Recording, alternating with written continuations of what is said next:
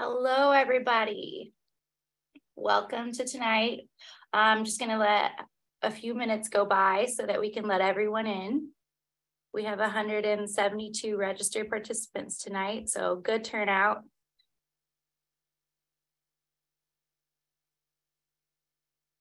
And the numbers are going up.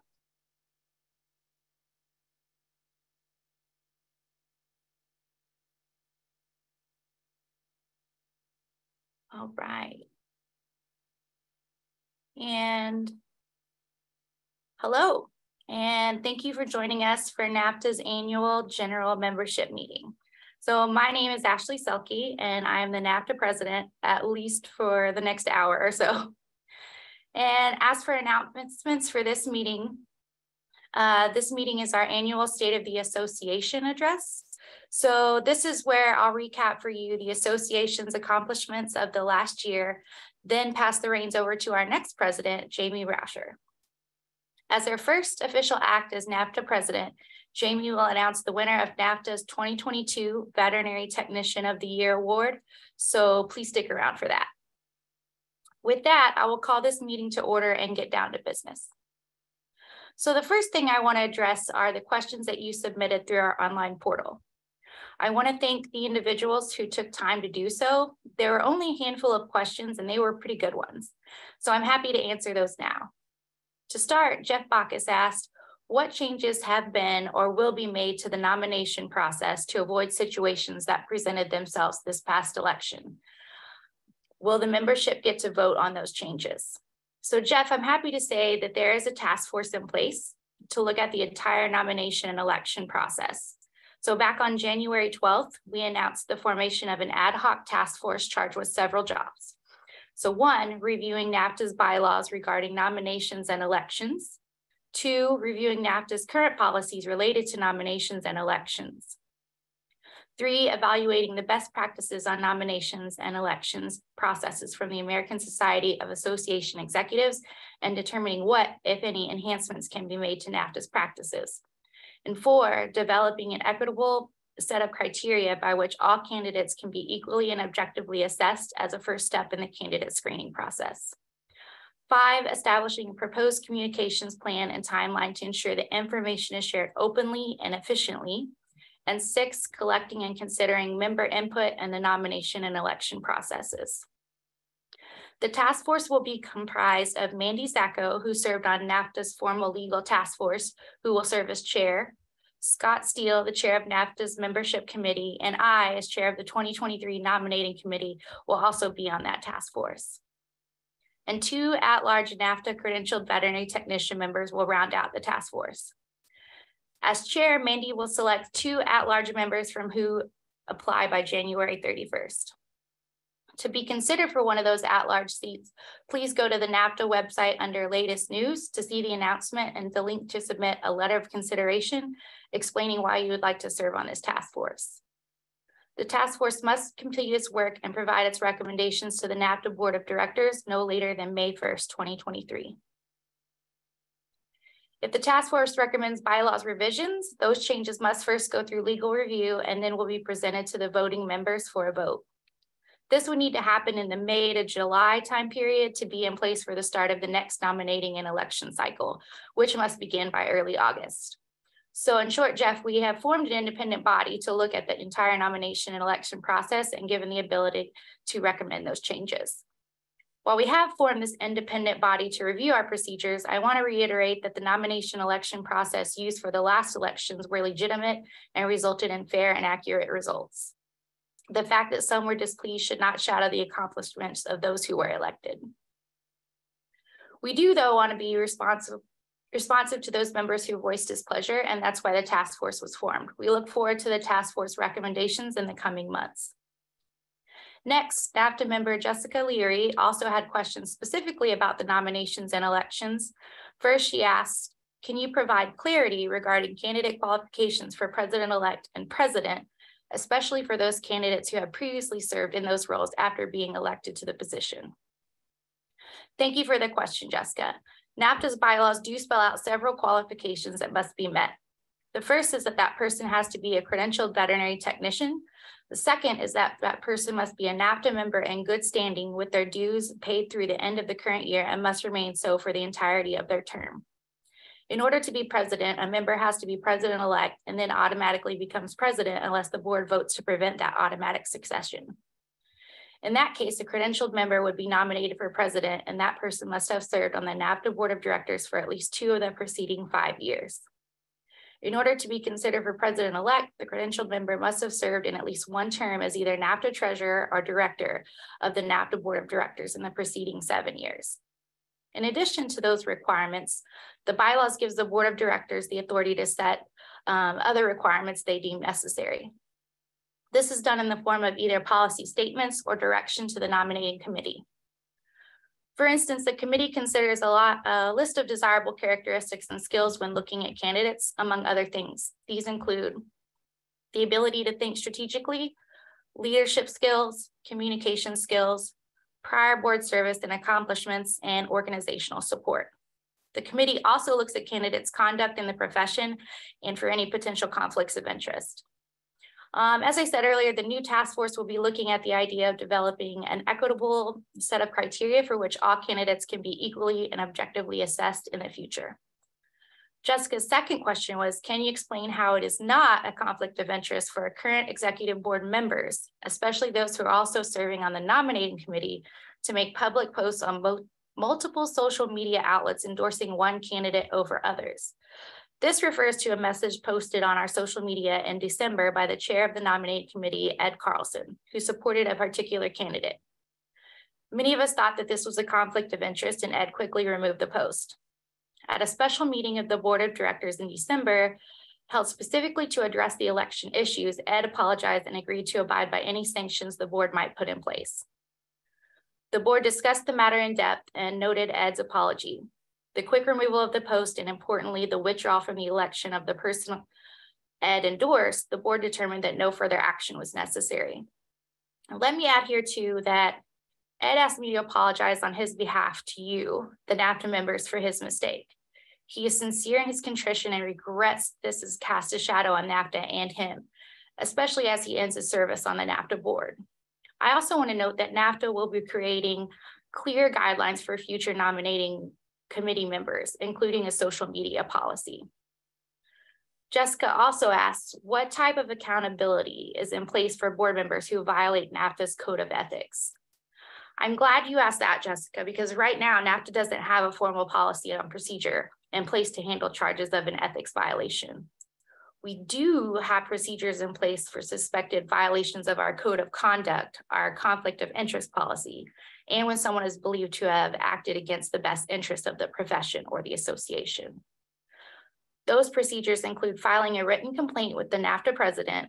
Then the president can either appoint a task force to investigate or invite the subject of the complaint to a hearing before the board.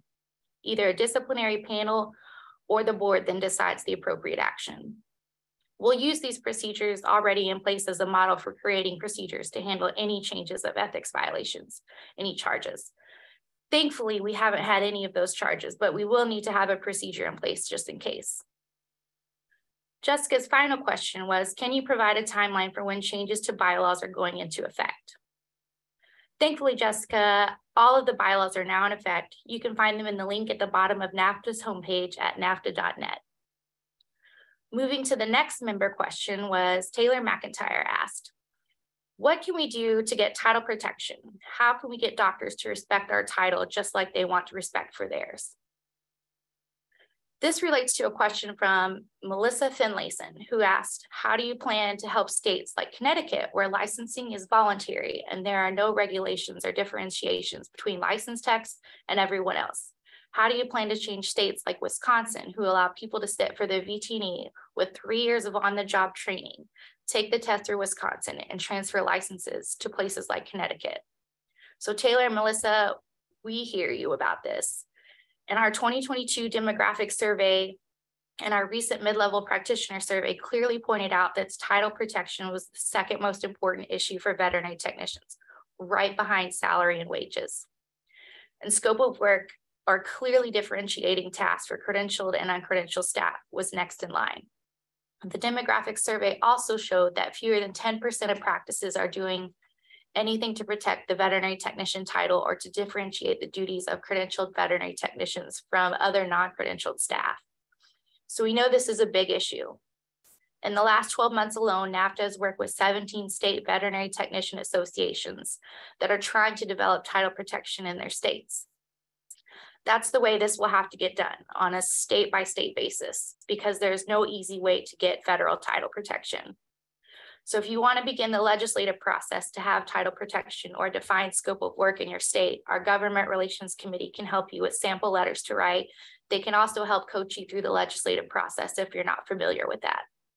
That being so, it will be critical for you to get the support of your state VMA. So that's where you should start. Most VMAs hold significant legislation sway, legislative sway in their states. So if you don't have their support, they could derail your efforts. Start there and keep NAVTA informed in your progress. We can jump in and help with letters of support, expert testimony, or other information and assistance. I should also add that NAVTA is engaged in active conversations with stakeholders like AVMA, VHMA, AHA, AAVSB, and AAVMC that can make a big difference on this issue. One of the things we're talking about is creating a mandatory track of education for veterinarians that would make them aware of the scope of work, education skills required to be a credentialed veterinary technician. Much of the problem stems from the fact that DVMs just don't know all that we can do. In short, we're pushing from the top down, and if you push from the states up, we'll see success. So by the way, in 2021, uh, NAVTA endorsed the AAVSB model scope of practice for veterinary technicians. While it is not mandatory that states use this model, it is a starting point for states who want to work on this. You can find that at aavsb.org under board services. Finally, uh, Jeff Bacchus, who asked the first question, also asked what, if any, progress was made on the VNI in 2022 and what are goals for it in 2023. So I want to thank you again, Jeff, for that question and the opportunity to talk about the VNI. For those unfamiliar with the VNI, it stands for Veterinary Nurse Initiative, but I like to refer to it as the Veterinary Nursing Initiative. I use nursing instead of nurse because I think that it's more clearly and accurately speaks of the entirety of what the initiative is all about. After all, the VNI has four distinct goals, only one of which includes work related to the veterinary nurse title. The goals of the VNI are to one, promote a standard credential for all veterinary technicians, nurses in the United States. Two, establish a positive professional identity for all veterinary technicians, nurses. Three, clarify the value and scope of practice in the title of veterinary technicians. And four, expand the career potential for all who practice veterinary technology and nursing. I've already talked about how NAVTA has helped in 17 states this last year by promoting standardized credentials, harmonized scopes of practice, and title protection. So those activities relate to goals one and three of the VNI. Last year, the VNI also created the Title Protection Report. In-depth analysis showed that 31 states and jurisdictions have no title protection for veterinary technician within their veterinary practice acts, and another 10 states have only limited title protection. The report also showed that nearly 40% of veterinary technicians were misinformed about their state's title protection laws. When asked if their state restricts the title of veterinary technician to those licensed through the state law, only 61% of responses were consistent with their actual status of their title protection in their states. To cure these problems, the report provided recommendations for legislatures and regulatory agencies, academic institutions, veterinary medical and technician associations, veterinary practices, and others. The report was distributed widely to the profession and in just two days uh, will be presented to the executive directors at state VMAs, courtesy of the VMAE. So we're getting the word out there. With regard to goal two, establishing a positive professional image, our greatest success last year was sponsoring a consumer survey that gauged the public's understanding and appreciation for veterinary technicians. The results of the survey conducted by NAVSE and called the Veterinary Nurse Technician Empowerment Initiative generated widespread media coverage in the consumer press. This includes more than 4,200 media stories with an audience reach of 757 million people. It's pretty amazing. One specific article based on the survey results titled Putting Your Pets in the Best of Hands generated an estimated 1,300 news articles in consumer publications in 47 states and reached an audience of 105 million. We're happy to say that we'll be working with NAVSE again this year on the next steps of this initiative. I do want to add something that's very important related to the VNI, and that's the whole issue of the veterinary nurse title. Our 2022 demographic survey pointed out that 85% of veterinary technicians prefer the title that includes the words veterinary nurse. This includes registered veterinary nurse, licensed veterinary nurse, licensed medical veterinary nurse, certified veterinary nurse, and credentialed veterinary nurse. Now, don't misinterpret this as NAVTA's position on the title issue. This is just data that shows our members want this title, and it gives the board a clear indication of what members want. The only position NAVTA has taken on the nurse title issue was back in December of 2021, when we publicly urged employers who chose to use the nurse title to reserve its use for only those who hold a valid veterinary technician credential from their state. Those with a valid CVT, LVT, LVMT, or RVT designation. That being so, in April 2021, we did receive legal opinion from an attorney formerly with the Federal Trade Commission that the use of the title veterinary nurse could be permissible. The attorney noted that the use of veterinary nurse is not deceptive to the public, is clearly different and cannot be confused with a human nurse and does no harm to the human nurse profession. Correctly, the attorney also pointed out that the use of the nurse title will be a state by state issue since there is no federal title protection. And that's exactly where NAVTA stands, uh, focus has been, helping state veterinary technician associations who have been or wish to pursue this. As far as 2023 goals for the VNI, there will be research into each state's scope of practice, continued work with our stakeholders on educating the profession and public about veterinary technicians, and of course, work with the states who are looking to enact title protection and credentialing standards. We'll also be working on an automated utilization tool that will allow practices to not only see how they will utilize their techs, but also see the dollar value associated with the higher utilization. So Jeff, I know that that was a long answer to your question, but there was so much to cover and I didn't want to leave anything out and it was all so very important. Again, thank you all for all your questions and most of all your dedication to NAVTA. Your input will help make us even stronger organization. So now on to the rest of the annual meeting. Believe it or not, there was more we did in the last year and most of it was very successful. One of the ways we measure success is by looking at our finances. I'm happy to report that NAVTA had a very good financial year in 2022, at least according to our unaudited financial reports.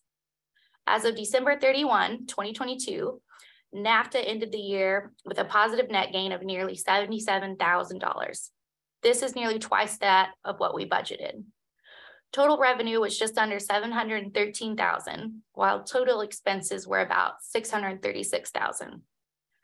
Membership dues was at an all-time high, passing 240,000 and accounting for about 40% of our total income.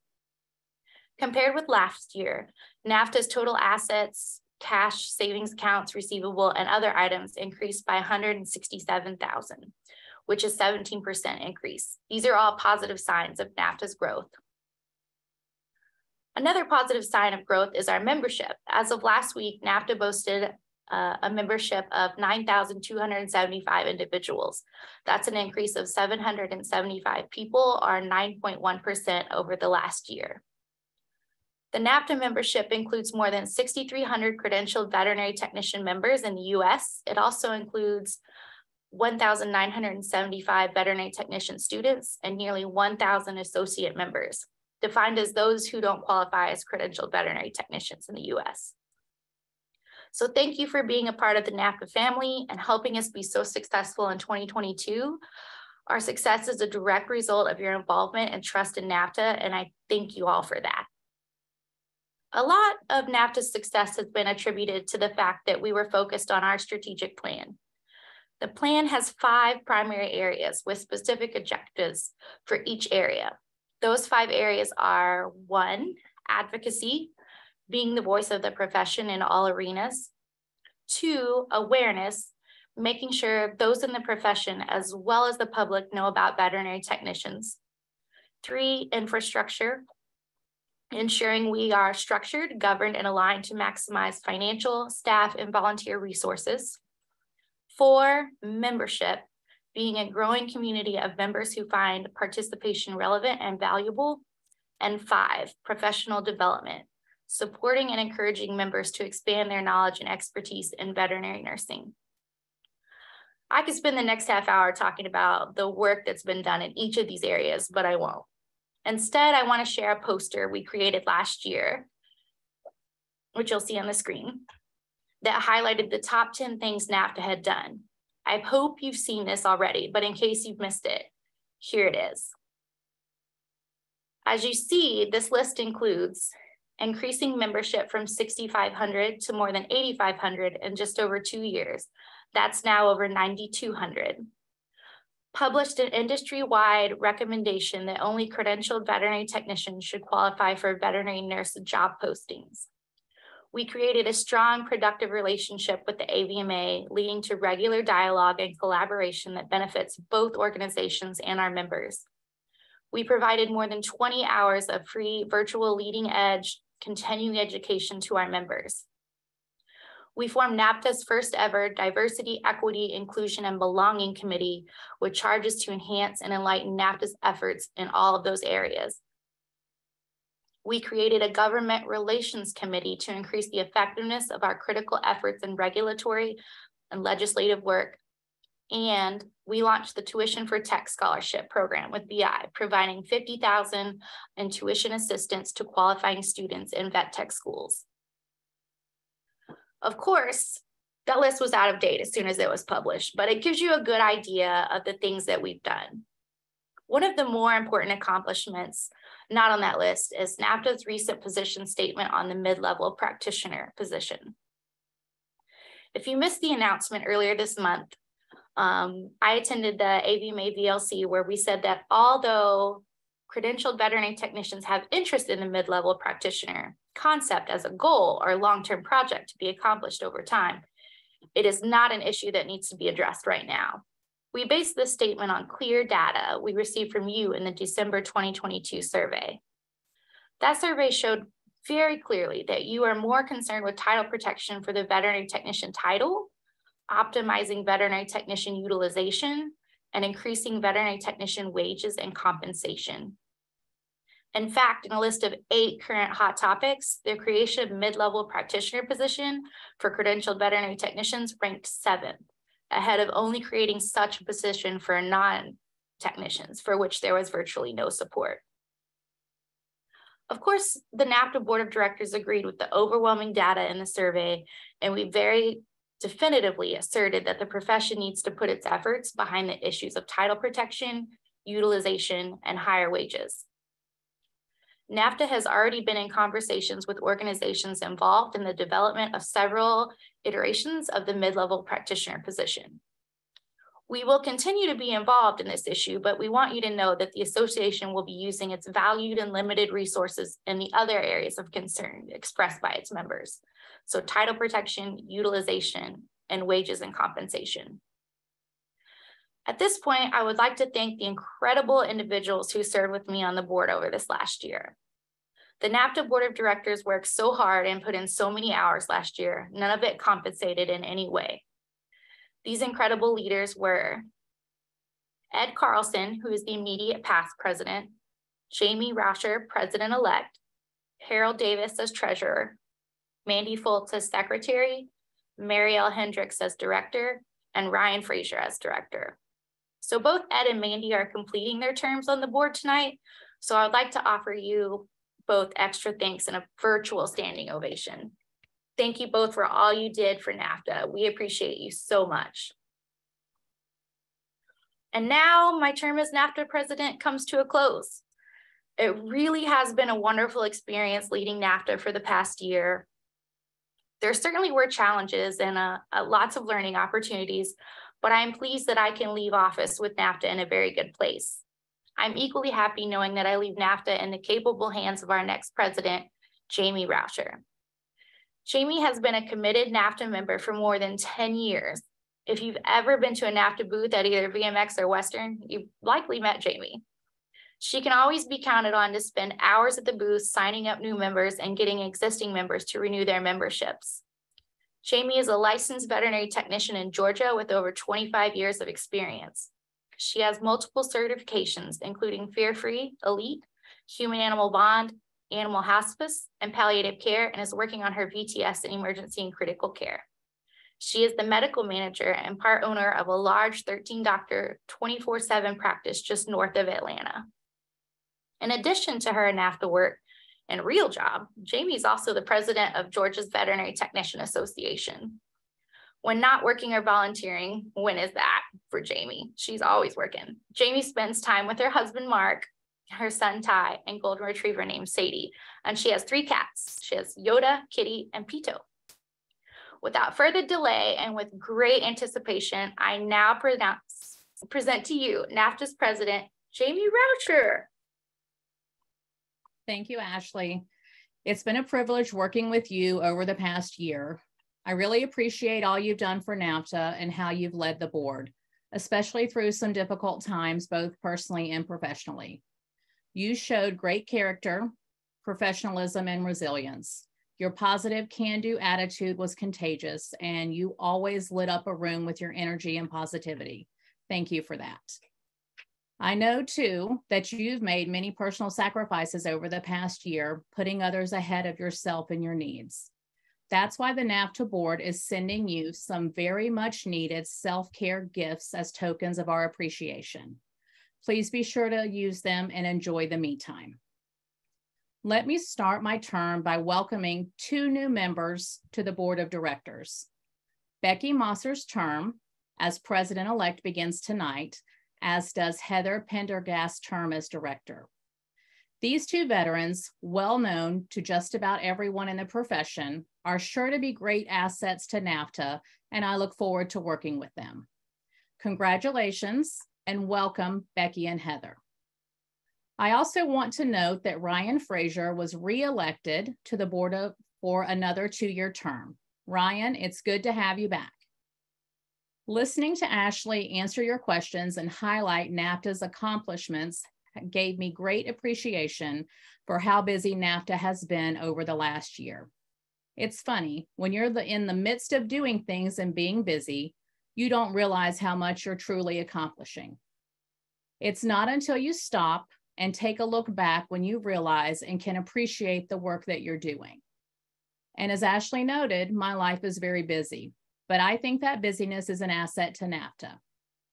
Working at a 24 7 hospital has me on the floor on average six days a week, usually totaling more than 60 hours a week. That busyness allows me to experience everything that you as members are experiencing. That includes fatigue, unhappy clients, and all the other stressors that come with our job. But it also includes all of the great things that come with being a credentialed veterinary technician. The joy of seeing a patient recover from surgery, the love exchanged with a cat who only responds to you, the appreciation shown by a client because you saved their beloved pet.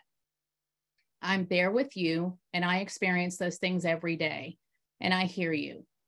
And I also will bring these experiences to my presidency with NAVTA. That's why NAVTA's focus over the two years of my presidency will be on the things that matter most for veterinary technicians wages and compensation, title protection, improved utilization, and wellness. I would also add to that list a few things that are important to NAVTA's continued success, like membership growth, valuable new programs, and better communication with our members. Ashli already mentioned some of the ways we'll be addressing the critical veterinary technician issues. For instance, we know that we cannot fix the compensation issue by ourselves. We have to work with our stakeholders, AVMA, VHMA, AHA, and others to help educate them on the value of veterinary technicians and get them to understand the economic impact a well-trained, well-utilized veterinary technician can have on their practices. We have to show them the money that they could make. So there is a connection between the work we do and their bottom lines. We also have to arm you with tools you can use in your conversations and negotiations with those who determine your pay. Those things are on our agenda for this year. We also know we have to continue to help states in their legislative and regulatory work towards getting title protection and a standardized scope of practice, or at least as standard as we can get across all states. And we know we need to do more to help you take care of yourselves, myself including. We have to get better at teaching and giving permission for veterinary technicians to take care of themselves. Our 2022 demographic survey showed that nearly one third of all respondents know someone in the veterinary community who died by suicide. If you're sitting next to two vet tech friends right now, odds are one of you knows someone who died by suicide, myself including. The survey also told us that more than 60% of you are concerned about someone dying by suicide. That's a crisis that needs to be addressed, and NAVTA will be working on it. This is a major opportunity for practices to make a big impact on their employees by implementing some simple but effective communication and counseling services. There are many employee assistance programs out there that can be implemented in a matter of days and for a relatively low cost. So we'll be working with our colleagues at the Hospital Managers Association and AHA to get these things in place. A quick note, if you or someone you know is in a crisis, please, please reach out for help. You have friends at NAVTA who can help. Or you can simply dial 988 from your cell phone and get connected with professionals at the Suicide and Crisis Lifeline. Ashli also mentioned our great membership growth over the past year. Much of that success can be attributed to our hiring of a firm with expertise in association membership recruitment and retention. That group, Marketing General Incorporated, created and implemented social media ads and conducted phone calls to get former members to come back and to remind current members to renew. Their results were outstanding. In the fourth quarter of 2022 alone, we collected 2023 dues revenue that nearly matched the amount we had collected in all of 2022. MGI's work in 2023 will focus on new member recruitment. As we've all heard, there's something like 90 to 100,000 veterinary technicians in the United States, and we want all of them to be NAVTA members. MGI's first recruitment programs will be through LinkedIn and Facebook, where we have already identified nearly 90,000 qualified new member leads. We've given MGI a goal of increasing membership by 850 new members for the year. We know this is a lofty goal, but it does not seem unreasonable. Another potential source of new members will come from a new program that will be launched next month. I'm also happy to announce that the long awaited infection prevention program will launch in February at WVC. NAVTA and Virox have collaborated to create a four part online self study course that dives deep into infection prevention at veterinary hospitals and clinics. The program will be offered free to everyone. Yes, free to everyone. The NAVTA board decided this program was too important to put any barriers to inclusion, so we are offering it to everyone at no cost. At the completion of the program, which will include quizzes for each module and then a final exam, successful candidates will receive a certificate don't excuse me a certificate denoting them as an infection prevention leader look for details on the navta website in mid-february there is one more thing that I would like to mention as a new initiative for the coming year. It will be a focus of mine to increase the communication between the NAVTA board and you, the NAVTA members. There is so much that NAVTA is doing, so many good things, but unless we tell you about it, you're in the dark. And that can lead to incorrect con conclusions, assumptions, and the feeling that we're trying to hide things. That could not be farther from the truth. We know we have to get better at communicating with you. The board discussed this earlier this month, and we're coming up with a plan that will ensure you have access to information and feel like you know what's going on. The other side of that is the fact that communication is a two way street. So later this week, we'll be introducing a feedback portal on the NAVTA website. This will be an easy way for you to ask questions, provide feedback, file a complaint, or give us a compliment. In short, it will be an easy way you can reach out to us without having to remember anyone's email address or try to figure out who you should write to. As I said at the start of my remarks, I will be focusing on the things that matter to all of us over the next two years. Things like wages, title protection, utilization, wellness, and membership growth. I invite you to be part of NAVTA's efforts in all of these areas or in any other area where your passion lies. Please feel free to email me through the info at navta.net address if you would like to get involved.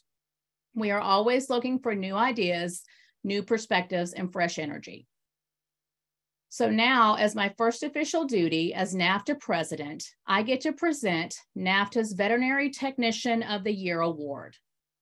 This award is presented to a NAVTA member who has provided leadership and contributed to the association and the overall betterment of the industry. All NAVTA members are able to nominate a fellow member for this award. This year's Veterinary Technician of the Year has been a NAVTA member for just over two years and has made quite an impact in that time. In nominating the winner, her colleague wrote, This person has proven to be a very capable leader, working with her veterinary faculty, providing direction and confidence to her team. In her role as an academic program director, she was recognized as, as the program's greatest strength by the CVTEA sites team members. These exceptional strengths also benefit many nonprofit organizations where this person contributes her knowledge and leadership skills as an advisory board member. Earlier this year, this person started engaging with NAVTA in search of new opportunities for our profession in Puerto Rico. Today, she is the primary point of contact for NAVTA's District 4. With this initiative, she has inspired and engaged with the professional community around her to become involved with NAVTA, resulting in a recent selection of two students from Puerto Rico as recipients of the NAVTA BI Tuition for Technicians Scholarship Award. The 2022 Veterinary Technician of the Year is an outstanding young woman with exceptional leadership skills and a wonderful work ethic. She contributes to our profession by providing the direction, education, and support that our young professionals in Puerto Rico urgently need. NAVTA is proud to bestow the 2022 Veterinary Technician of the Year Award on Rochelle Cortez Martinez. Rochelle is an LVTG and works as the Veterinary Technology Program Director at Universidad Ana G. Mendez in Ponce, Puerto Rico. We are very happy to have Rochelle join us tonight. Rochelle, please say a few words.